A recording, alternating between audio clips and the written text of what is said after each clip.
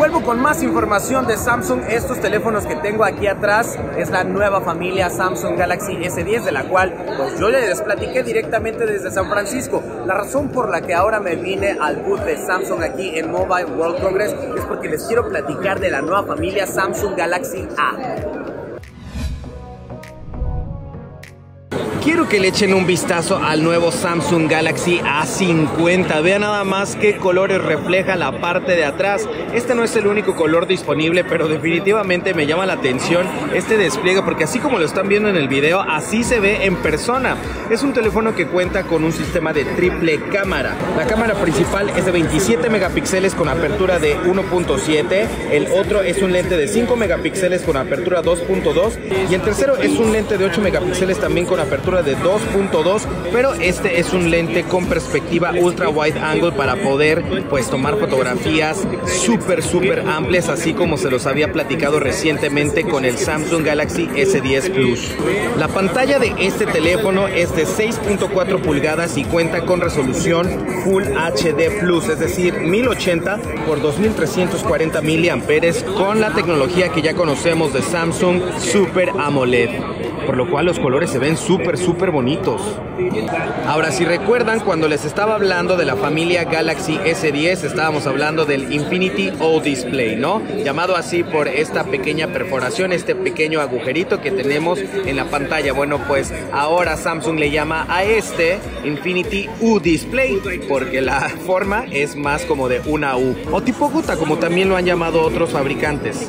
Si te das cuenta, no hay lector en la parte de atrás ni tampoco en la parte de adelante y esto es porque este es otro teléfono que ya lleva el lector de huellas al display, lo cual es una excelente noticia porque hasta el momento esta característica solamente se había visto en los teléfonos de gama alta o gama premium y pues Samsung lo que está haciendo es bajar esta característica a sus teléfonos de gamas pues más abajo que las de los gama alta.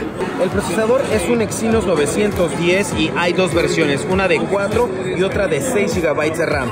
Igual forma hay una versión de 64 GB de almacenamiento interno y otra de 128 GB de almacenamiento interno, aunque en ambos casos tenemos la oportunidad de añadir hasta 512 GB a través de una micro SD. Me agrada que en general las características de este teléfono están muy enfocadas a ofrecer una experiencia pues como la de gama alta con Samsung Pay, con carga rápida, con procesador pues súper veloz para correr juegos, con triple cámara, con inteligencia artificial pero bueno, ahora es momento de conocer a su hermano menor. Este es el Galaxy A30, que también si se dan cuenta tiene unos reflejos de luz ahí con colores muy interesantes. En general son muy similares, pues si se dan cuenta por la parte de enfrente también tiene eh, este notch tipo U, es decir, también pertenece a la familia de Infinity U Display. También tiene una medida de 6.4 pulgadas, también tiene Super AMOLED y también tiene resolución Full HD Plus. Realmente la diferencia viene cuando lo volteas porque aquí en la parte de atrás pues ya tenemos el lector de huellas, digamos, tradicionales a lo que estamos acostumbrados y en lugar de tres cámaras solamente tenemos dos. Una cámara es de 16 megapíxeles y la otra es de 5 megapíxeles. Y bueno, también otra diferencia es que la cámara frontal es de 16 megapíxeles y no de 25 como con su hermano mayor.